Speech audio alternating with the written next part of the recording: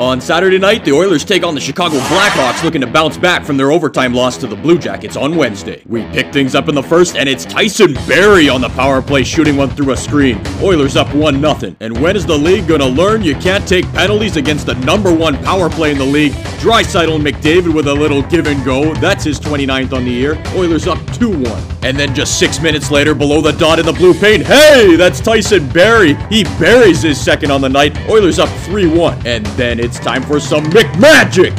Who else do you think it is? Connor McDavid makes it 4-1 with his league-leading 41st on the year. Then another familiar face, Zach Hyman. If you haven't picked this guy up in your fantasy pool yet, something's wrong with you, man. Then how about this? With just over two minutes left in the game, the Oilers decide to put in their emergency backup, Matt Berlin from the University of Alberta Golden Bears. He makes a save on the game. The Oiler fans love it. They would go on to win this game 7-3. For the best hockey content, hit that subscribe button. This is Stuart for real, signing off.